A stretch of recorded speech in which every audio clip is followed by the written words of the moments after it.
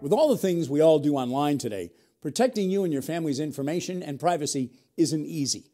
Professor Robin Saunders, Director of Communication and Information Management Programs at Bay Path University, sat down with us to talk about this very modern problem. Well, and they, and they should be.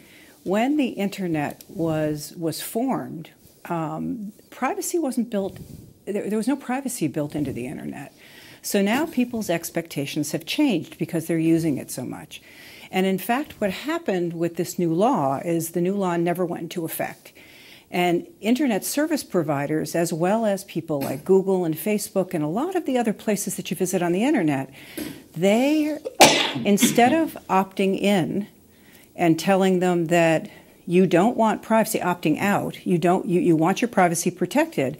The default is opting in. And that's exactly what happened with this law. You would have had to opt in to the, these these internet service providers gathering all of this information on you. And now the default is you have to call them or find out where you can go to opt out of this. Because unless you make that effort you're, uh, you are you're complying with what they want you to do want to talk more about all of that, but let me ask you supporters of what Congress and the President have done, now negating this rule that was to take effect, mm-hmm. they say it's about fair treatment for ISPs because Google, Facebook, a lot of apps, a lot of websites, big web companies don't face the restrictions that would have been placed on the internet service providers, the, the Comcasts, if you will, the, the phone companies, if you will, that provide internet. And this is all about being fair and equal among the companies. What do you say to that? Well, uh, if you notice, it was the F- it's an FCC mm-hmm. regulation, and FCC controls things like the utility companies,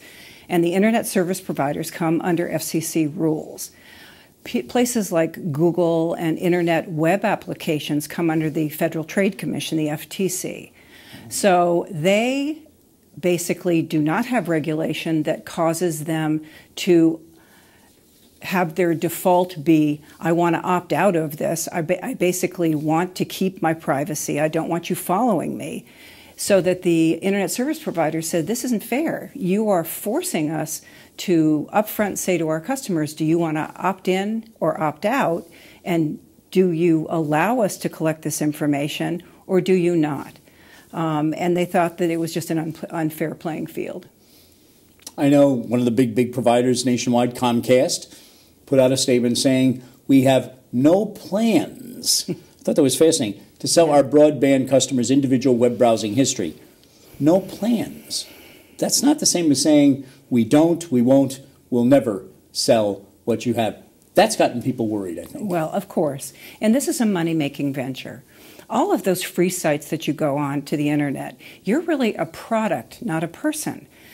They're free because they can accrue advertising dollars. They're free because they can sell the information about your trends, what you like on the internet, where you go on the internet, to attract advertisers to you so that it's something that you need to be aware of no matter where you go on the internet.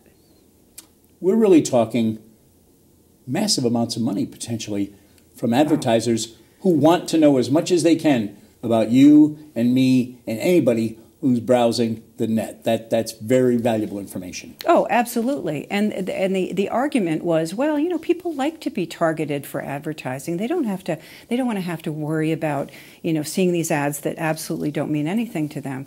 But in fact, what's happening is that they are gathering a profile on you where you visit, what you do on the way over here, I was obviously I was looking at a lot of internet sites um, on internet security this week, and I am being tagged.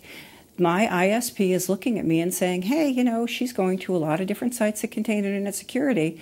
Um, maybe we should send her things about um, how to securely browse or or products that will help her to become more secure on the internet." I think the problem is that people just don't realize that there really is no privacy on the internet. The only privacy on the, the uh, if, if you want to keep something private, the only place really to keep it is in your mind. If you start to share it with friends during a chat instead of going and talking to them, if you go on the internet and you start surfing the internet, you've got to really be very, very careful about the places that you go.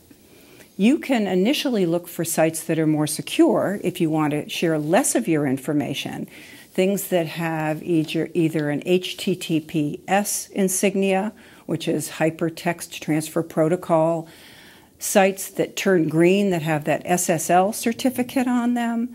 Um, those are more secure and try to encrypt your information. You could also, as, as, as we have discussed before, you can also download programs, browsers like Tor or a virtual private network. And a virtual private network is something that allows you to basically go through the internet in an encrypted fashion in a tunnel so that your internet service provider will actually will see you entering the virtual private network but not see what you do inside of that because all of your activities are encrypted. The only problem is you've got to be able to select a virtual private network that is authentic, that is honest, and that has a privacy policy that you can say, hey, I don't want any of this information shared. The ones that tend to be free are the ones that you really should stay away from. Good virtual private networks you actually need to pay for. And I know you mentioned me particularly, and, and you talked about it a bit there. You've really got to know what you're doing. If you're getting into a VPN, a virtual private network, mm-hmm. you, you got to have some serious skills and, and savvy to get in there and, and, and not not get the protection you're looking you for. You do, and most consumers aren't going to want to do that. Most consumers want to they, they want to maintain their privacy, but they don't really know how to do it. Simple things like minimizing your footprint on the internet. Only go in the, on the internet if you absolutely have to. Don't fall prey to giving out additional information that you don't need to. There are so many places, advertisers will send you things like a coupon. Mm-hmm. Click here for a coupon and we'll give you 20% off at a department store and you click, oh, definitely, I shop at the department store. I'd love to do that. You click on that little link and it sends you to a place and saying, I'm happy to give you that. Please provide your name, your address, your email account number, and all kinds of other things about you, sometimes a telephone number. You have then just provided all of this additional information on the internet. If you use a free map application, free maps track you. They're designed to track you. You want to make sure that you really limit your footprint on the internet. Be smart about things. Make sure that you that you protect your information. And finally, it seems to me that if ISPs or anyone is collecting a lot of information, they're storing it somewhere.